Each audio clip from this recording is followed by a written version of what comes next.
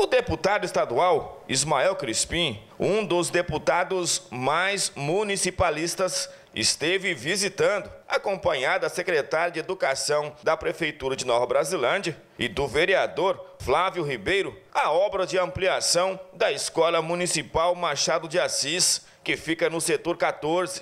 Para a ampliação da Escola Machado de Assis, serão construídas mais três salas de aula e um refeitório, com custos acima de 250 mil reais, fruto de emenda parlamentar do deputado.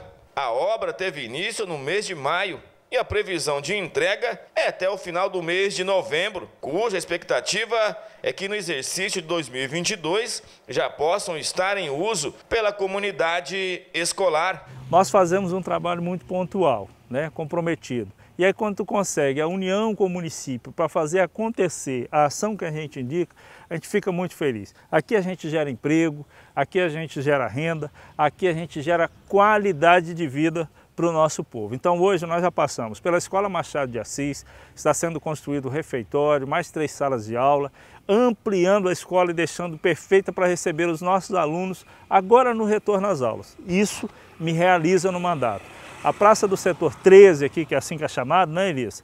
Há quanto tempo essa comunidade esperava? Então, com a nossa parceria aqui com a Prefeitura, leve nosso abraço ao prefeito, nós estamos conseguindo também concluir. Daqui uns dias nós vamos vir para entregar essa excelente praça que eu tenho certeza que a comunidade vai receber com muita alegria, se realizando no mandato, porque eu tenho certeza que quando a gente oferece qualidade de vida, quando a gente oferece lazer para a nossa comunidade, nós de fato transformamos a vida da nossa comunidade.